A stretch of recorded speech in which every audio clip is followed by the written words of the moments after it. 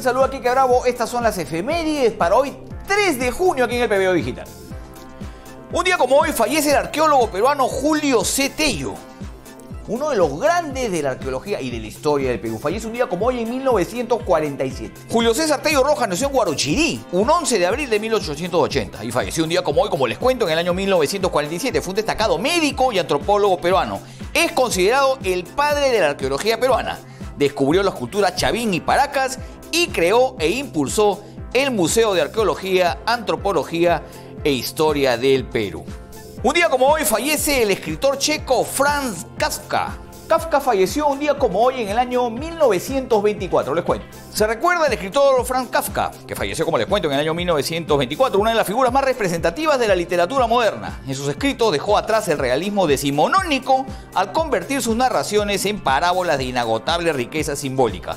Su obra cumbre es La Metamorfosis, que duda cabe, que, en que aborda situaciones sociales angustiosas y de una gran incertidumbre. Kafka estudió Derecho en la Universidad de Praga y tuvo que trabajar y lo hizo aproximadamente entre los años 1908 y 1917. Su apellido se consagró en español como adjetivo de una mezcla de angustia y absurdidad.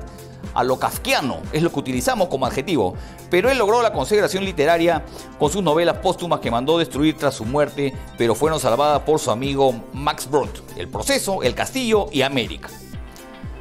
El COVID-19 ha cambiado el mundo y sus costumbres, pero eso no significa que debas dejar tus estudios. La UPSJB, Universidad Privada San Juan Bautista, está siempre a la vanguardia y ha adquirido el moderno sistema de Blackboard Learn Ultra de aulas virtuales para que no dejes de aprender. Además, con San Juan Virtual contará con ingenieros, tutores y guías que velarán por la calidad óptima de tu educación.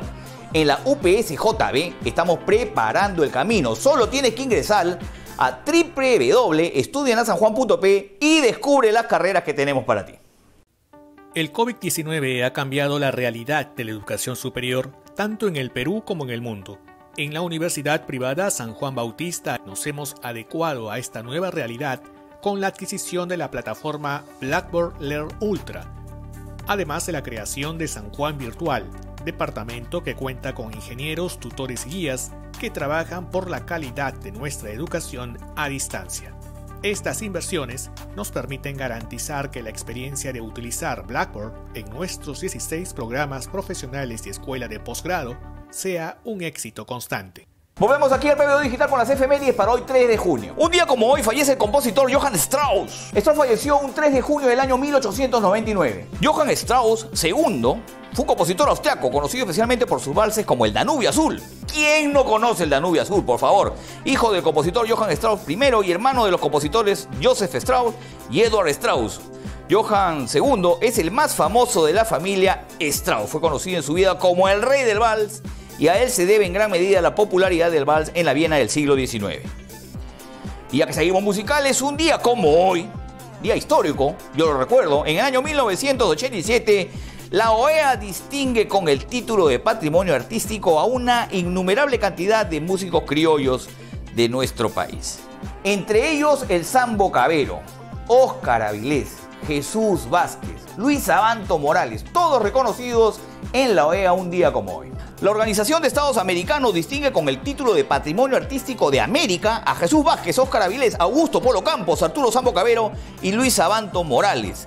Guitarra en mano, Óscar Avilés llegó acompañado por el Sambo Cabero a Washington, se sentaron allá adelantito ese 3 de junio de 1987 para incluso hacer un show y ser distinguidos como Patrimonio Artístico de América.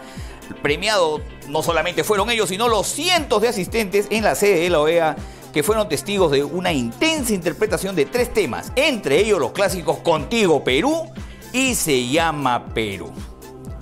Estas fueron las efemérides para hoy 3 de junio, aquí en el PBO Digital. Deja sus comentarios y comparte este video si le gustó. Chao.